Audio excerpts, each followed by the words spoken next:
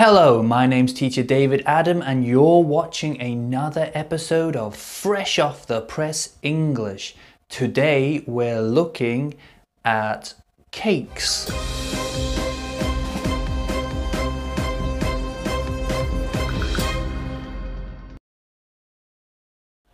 This news comes from Russia Today. It's about a bakery in India that is making some COVID 19 cakes. Let's look at the headline.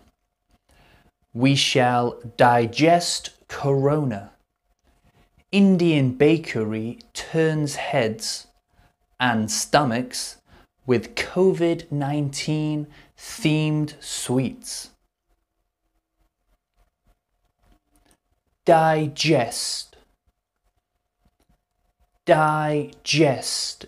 If we digest something, it means we eat it and then we turn it into food in our stomach. We digest it. It goes into our stomach and we use it in our bodies. Digest, basically meaning to eat something, basically. Digest. Turns heads. Turns heads. This phrase turns heads means it gets people's attention, makes people look at it. Okay, these cakes make people go, ah, make people turn their heads, make people pay attention to the shop. Turns heads. Themed. Themed. This word themed means it's almost like the topic or the subject of something. So here, the theme of the sweets is the coronavirus. The topic, the subject, is the coronavirus, the theme of the cakes. Themed. As the COVID 19 pandemic grips the globe, one bakery in Calcutta has taken merchandising to a new level, passing out virus themed confectionery. Grips. Grips. Now, this word grip literally means to hold something tightly. The virus is holding the world tightly. We cannot leave our homes. Businesses and shops have closed. We are being held by the virus. The virus grips us. Merchandising. Merchandising. Merchandising. Now, here we're talking basically about trying to sell things. How we sell something is merchandising, how we want to sell the thing. So, here they're trying to sell the cakes using the coronavirus. This is their merchandising idea, a bit like advertising, if you know this word. Merchandising similar to advertising, how they are going to sell their cakes. Confectionery. Confectionery. Confectionery. This word confectionery is a word we can use to describe normally sweet foods like cakes, sweets, cookies, biscuits. These are all confectionery.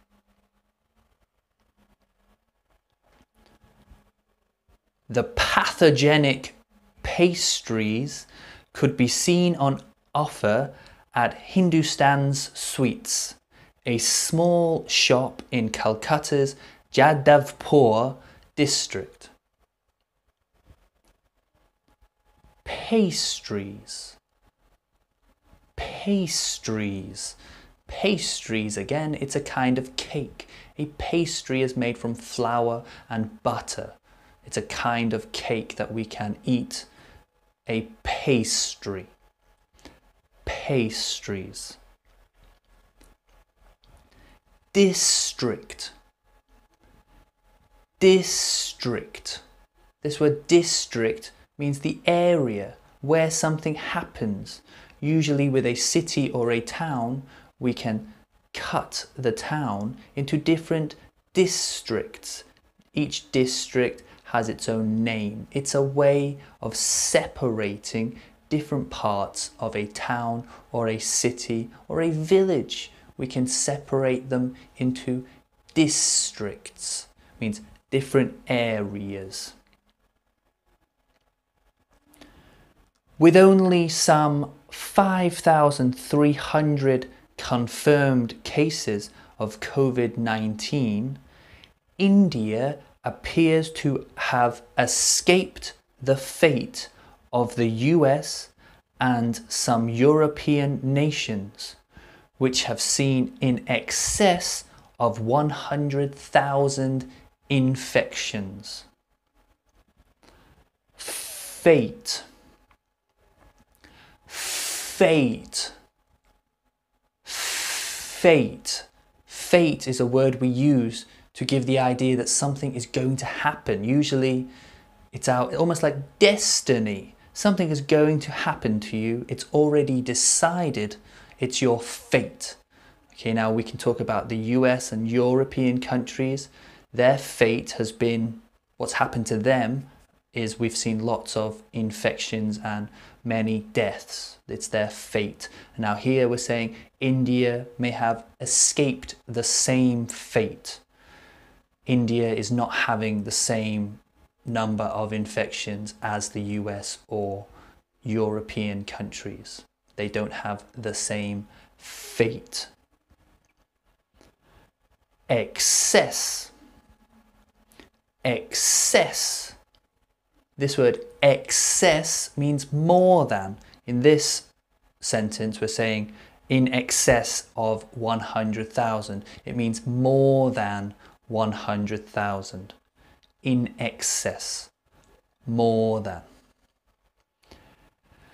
Let's look at the words from today's lesson. Digest. Digest.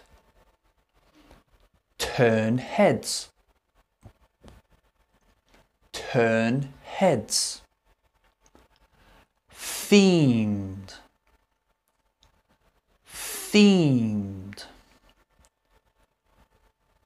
grips grips merchandising merchandising confectionery confectionery pastries pastries district. District. Fate. Fate. Excess.